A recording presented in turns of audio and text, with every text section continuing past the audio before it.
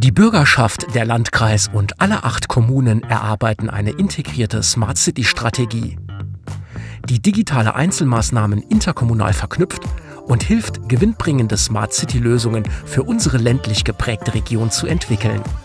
In einem Co-Creation-Prozess nimmt die Bürgerschaft sowohl über das Kompetenzzentrum als auch über die Bereichsleaderships aktiv an der Strategieentwicklung teil. Der Strategieschwerpunkt liegt in der digitalen Nutzbarmachung der Ökosysteme Bürgerdienste, Daseinsvorsorge, Mitgestaltung und Mobilität. Als Basis dient die interkommunale modular erweiterbare Smart Wendeler Datenplattform.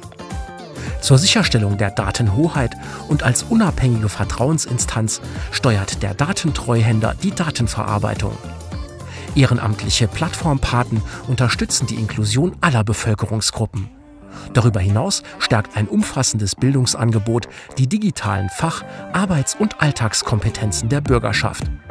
Der externe Wissenstransfer wird getragen von diversifizierten Wissens- und Austauschformaten, wie dem jährlichen Smart Saarland-Tag. Eine kontinuierliche Evaluation regionaler Wertschöpfungs- und Datenkreisläufe soll Wirkungen und Effizienzen anhand von Nachhaltigkeitsindikatoren aufzeigen. Positive Wertschöpfungsbilanzen bilden die Grundlage für eine Verstetigung der Maßnahmen und für eine zielgeleitete Entwicklung des Landkreises im Sinne eines gemeinwohlorientierten Smart Wendeler Landes.